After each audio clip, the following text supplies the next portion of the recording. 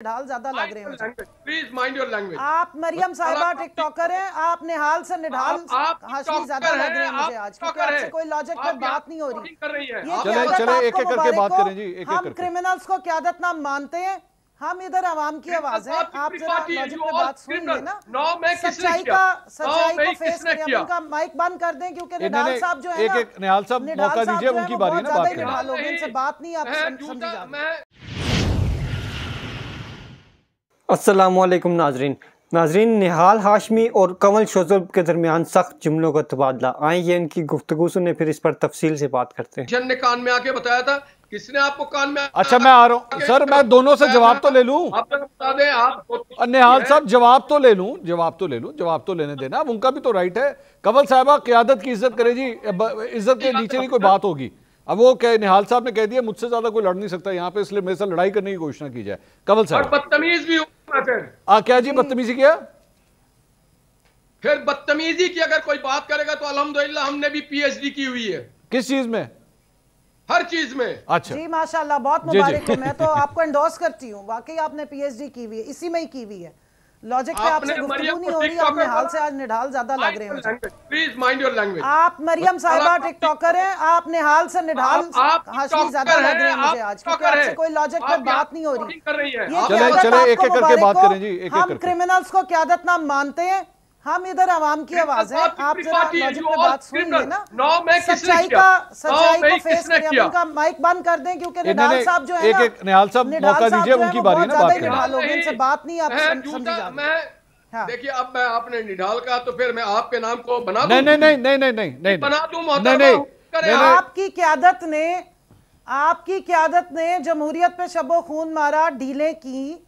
और वो रास्ता जो आपकी बीबी बताया करती थी कि मुझे यार नहीं निहाल साहब एक एक करके बात करें ना आपकी बारी अब ले। उनकी बारी है। निहाल साहब। सुनना सीखे फ़ायदा निहाल साहब। आपने बदतमीजी में की है। ब्रेक लेने थोड़ी सी पीएचडी में और बात सुन ले ताकि आप मजीद बदतमीजी पे बात नहीं कर बाईस साल भुगता है सकते थोड़ी ज़्यादा बदतमीजी करने के लिए आपको मेरी बात सुननी पड़ेगी। कंवल साहब एक मिनट ठहरिए कंवल साहब एक मिनट ठहरिएगा कंवल साहब एक मिनट ठहरिएगा निहाल साहब मेरी आपसे रिक्वेस्ट है आप प्लीज़ अपनी बारी में बोलिएगा आपकी बारी हो गई है अब कंवल साहबा की बारी है मैं आपके पास जब आऊँगा आपको भी कोई डिस्टर्ब नहीं करेगा ठीक है आप जरा कंवल साहबा की बात सुन रहे थे। जी कंवल साहबा गो हेड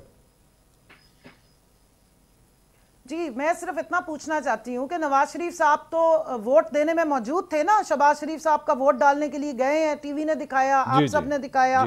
वहाँ उनका हाथ भी झटकते रहे उन्हें मुबारकबादें नहीं देते रहे सलावातें भी सुनाते रहे। तो ऐसी क्या पाबंदी थी? किसने गले में वो तोक डाल दिया कि वोट से ज़्यादा किसी और चीज़ को इज़्ज़त देनी पड़ गई है ज़बरदस्ती की? क्या वजह है कि उनको घर बंद करके तो सारे 900 पूरे करके तो इकतीस लोगों का जो पूरा ट्रिप है वो चला गया वहाँ पे और जाके उम्रा करके आए इनको साथ क्यों नहीं लेकर गए?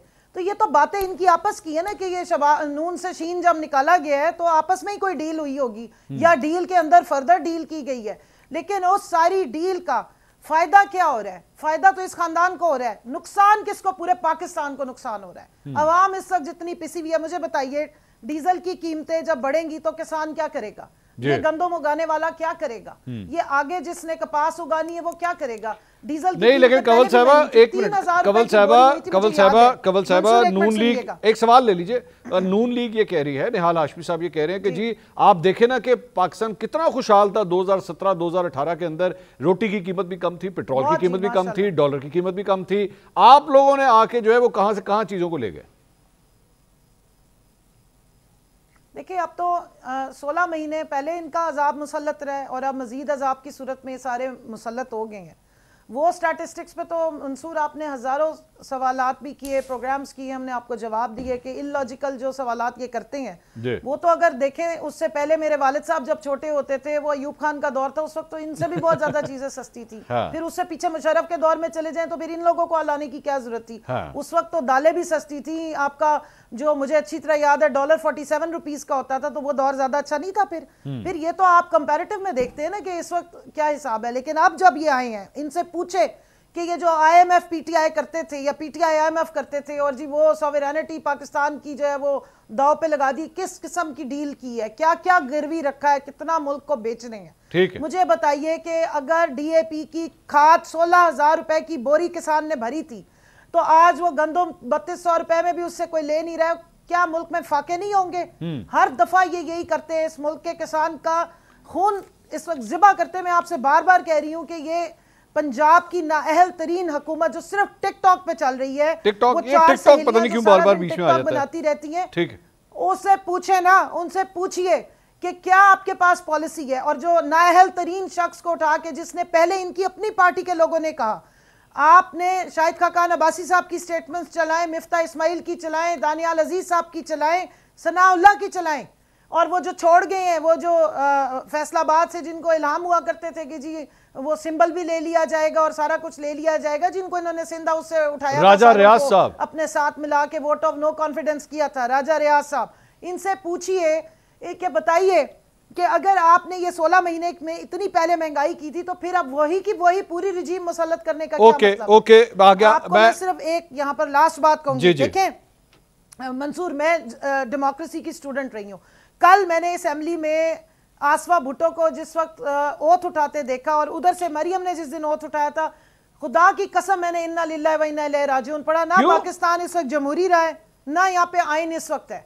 इसलिए कि इस वक्त वर्स्ट ये जो जिस तरह मुझे कह रहे हैं ना कि जी हमारी आप जो किबला करके आँखों को चूम के और नहीं, कंवल साहिबा, आसफा भुट्टो- कुछ और लगा कंवल के, आसफा- आसफा भुट्टो इलेक्शन लड़के आई है ना? की बात करूँ? आसफा कंवल साहिबा इलेक्शन लड़ा है? कंवल साहिबा कहाँ लड़ा है? नहीं इलेक्शन नहीं लड़ा। कौन से सयारे पे लड़ा है? जो उनके ओपोनेंट्स लड़ रहे थे उनको उठवा लिया गया और अनकंटेस्टेड जो है वो इस तरह लाया गया ये इलेक्शन कमीशन को मैं कहूँगी अल्लाह आपको पूछे। अच्छा, चले, अब वो पीपल्स पार्टी का तो कोई रहनुमा नहीं है। मुल्क में बदतरीन मिसालें कायम की। चले।